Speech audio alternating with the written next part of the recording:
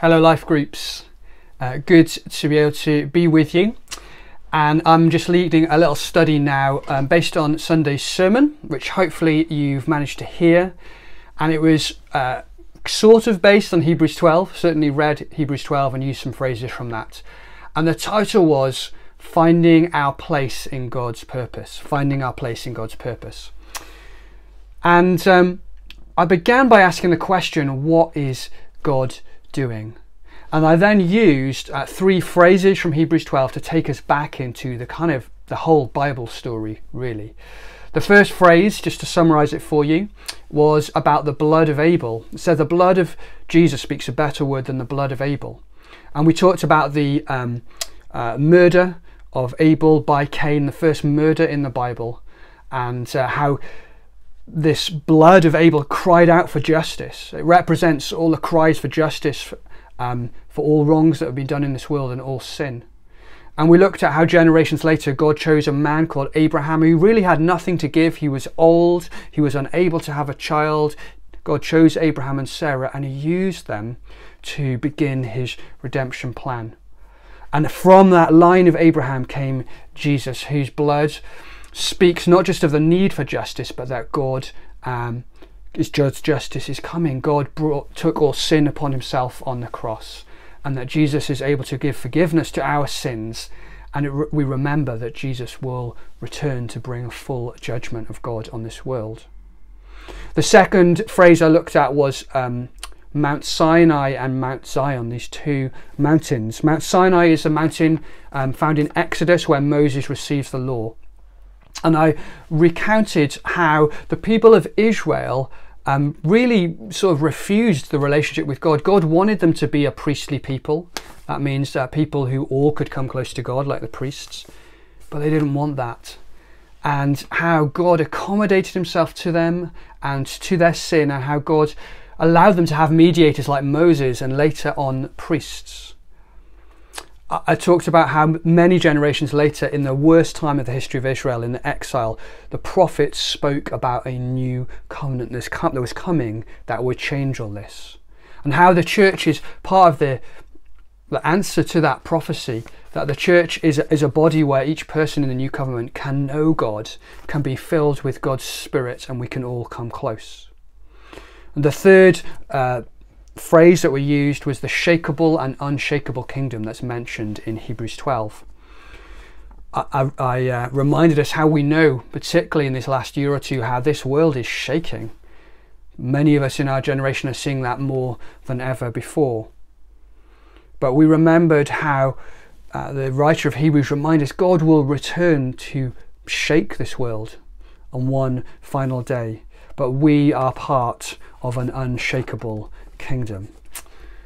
And uh, after recounting the whole Bible story in this way, I just reminded us of three important truths that I believe God wants us to hold on to now. Firstly, that we are to hope in God alone. Our hope is not in plans or leaders or um, any institution of this world, anything human. Our hope is ultimately in God. And it's important to remember that. Secondly, that our calling is to be a priestly people. Our calling is to be Christ's body on earth.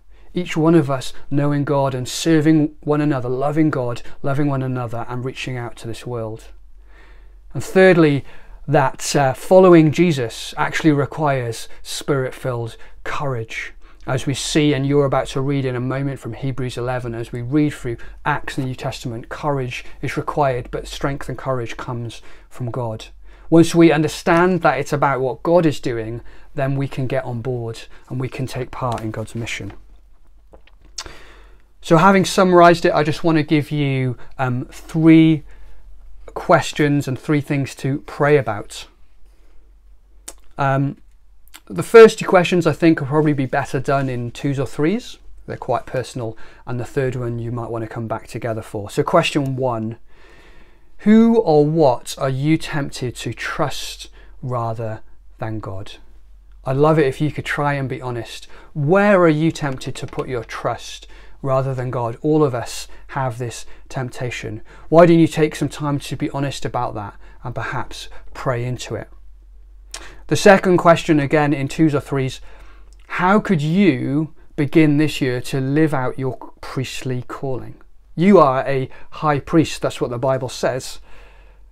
Um, and so, how can you work that out in Gateway? If you're able to come into the presence of God, if you have gifts to bring, if you also can hear from God, are there new ways that you could serve, that you could bring your gifts? Are you able to be more honest and vulnerable yourself? Are there people that God's calling you to get alongside, to support, or be supported by, to disciple, or be taught by? There could be other things. But how is God calling you to be more a part of the body? You are a member of the body of Christ. How can you live out that truth this year in our church family? The final question, I think, is one that you could do all together. I'd love you to read together maybe a few verses each from Hebrews 11. Remembering this is not about great men and women in one sense, this is about what God is doing and how He used weak men and women. But having read Hebrews 11, I want to encourage you to pray. Pray for courage as we begin this year. Pray for Alpha uh, if it's t- uh, Tuesday, if you're meeting on a Tuesday, it's happening tomorrow night. There could even be someone you could invite or for the next week. If it's Wednesday night, pray for Alpha that's taking place now for the pe- people that are listening to it. Pray for the coming weeks. Pray that there are people that you could invite. Pray and ask God, are there kingdom exploits He is asking you to do in your workplace? ways that maybe even as a life group you could begin to step out in your community. What is God calling you to do? What great exploits by His grace, by His strength and power is God calling you to do this year? Might be something that you want to continue to pray and think about. But let's begin by reading Hebrews 11 together and praying into it together. All right, thank you. Goodbye.